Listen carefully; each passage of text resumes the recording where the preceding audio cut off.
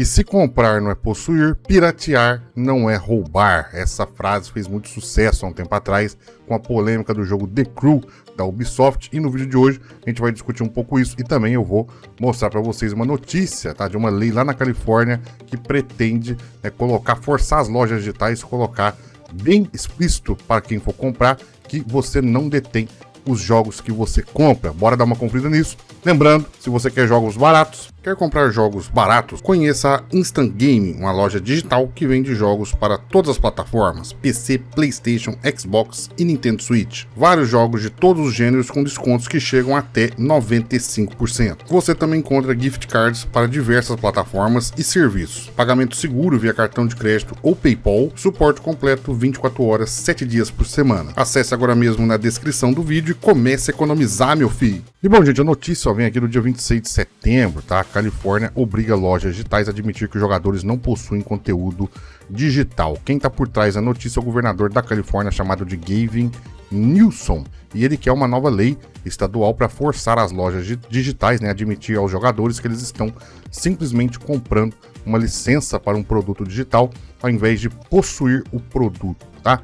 Você que né, compra mídia digital, tanto em lojas de console quanto em lojas de PC, vocês sabem que está lá é bem explícito, tá o botãozinho para você realizar a compra, né? Isso implica né, a métodos antigos, vamos dizer assim, né, de compra, né, trocas, né, no caso ali de dinheiro em, em um produto, tá, em que você compra e pela lógica, né, pela lógica antiga, vamos colocar assim, você possui o que você está comprando, né? Uma vez que você compra, você tem na mente que o produto é seu e é seu para sempre, mas a gente viu que isso não acontece quando a gente fala de mídia digital, né? Isso falando de música, falando de jogos, falando de séries, filmes, é, quadrinhos, qualquer mídia vendida digitalmente está suscetível, né?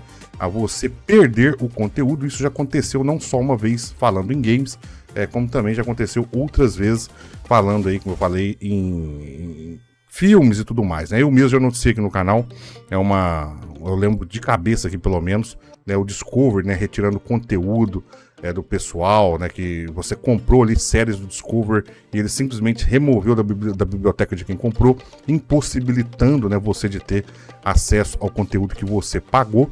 E quando a gente compra, né, jogos, dentre outras coisas, em lojas digitais, né, geralmente é colocado ali em termos de, de, de contrato e tudo mais, em letras bem pequenas, que geralmente ninguém lê, que você está comprando uma licença de uso, né? É, isso não está bem explícito para as pessoas que estão consumindo esse tipo de conteúdo, tá? A gente está aqui conversando, provavelmente você tenha o mesmo conhecimento que eu, você saiba que isso acontece, mas muitas pessoas simplesmente compram tá? e acham que vão ter o conteúdo ali para todo sempre, coisa que não acontece. Então, o governador da Califórnia quer que isso mude, tá? Ó, à medida que os varejistas continuam se afastando da venda de mídia física, o que está acontecendo mesmo, cada vez é, as mídias digitais crescem em relação à mídia física, a necessidade de proteção ao consumidor na compra de mídia digital se tornou cada vez mais importante, né, disse a deputada da Assembleia da Califórnia, Jack Arvin, em uma declaração, gente. Ou seja, este movimento aqui, gente, apesar de ser um movimento é, pequeno, é muito importante você deixar isso bem explícito, né? E para você e não lembra, ó, tá aqui a notícia: se comprar não é possuir, piratear não é roubar. Isso ficou muito famoso por conta do caso aí do The Crew, né? Que revogou a licença dos jogadores, né? Simplesmente ele removeu da loja o jogo The Crew, que é um jogo que você precisa de servidores, né, para jogar.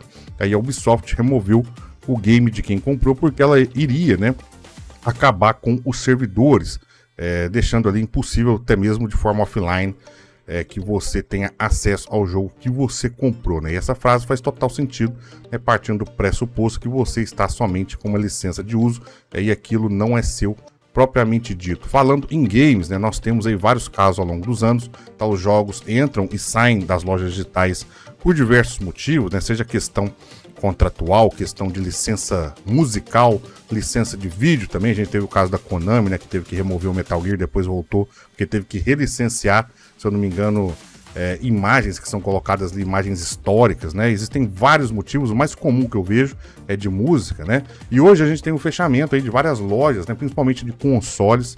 É, a gente teve a loja aí, o fechamento do Nintendo 3DS, né? o fechamento do Nintendo Wii U, o fechamento da loja do Xbox 360. Deve acontecer também o fechamento da loja do PlayStation 3. Tá? No momento que eu tô gravando esse vídeo, em setembro de 2024, tá? ainda é possível você acessar, baixar o conteúdo que você comprou mas eu falo para vocês, gente, que uma hora ou outra, tá? Pode demorar 5, 10, 15 anos.